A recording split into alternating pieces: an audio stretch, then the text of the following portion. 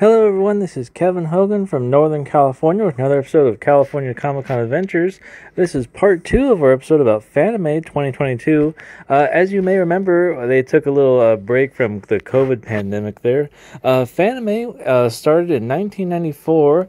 Uh, Fanime Con uh, was first created by several anime clubs that came together to share their passion for anime. Uh, some of the original clubs still remain, and many others have joined Fanime Con since. Um, now, for those of you interested, there are volunteering opportunities. If you want to find out more information, you can go to fanime.com. Um, and for those of you that want to learn more about them, uh, FanimeCon is Northern California's largest anime convention. Uh, they are known as by fans for fans, is their slogan. Uh, they're packed with non-stop video programming, extraordinary costumes, music, games, tournaments, panels, and they're renowned for international guests and celebrities. Uh, they're an annual celebration of Japanese art and popular cultural entertainment. It's a very colorful event for uh, fans, friends, and all sorts of interesting cosplay and activities there. Uh, Fanime Con of 2019 had over 34,000 attendees before the COVID pandemic there, and in 2022 there were several thousand there.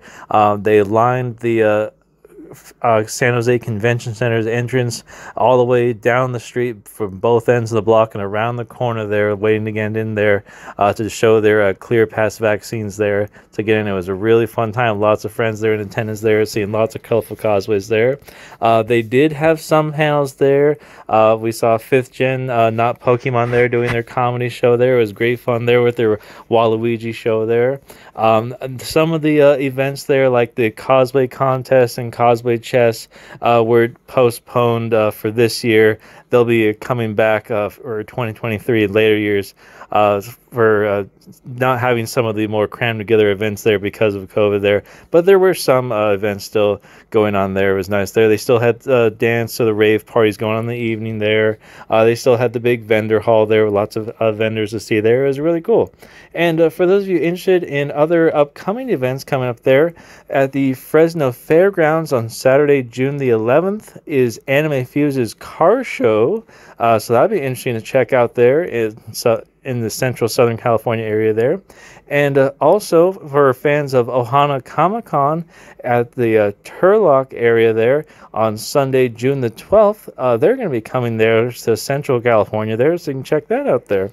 Well, uh, thanks for watching. I hope you enjoy the pics.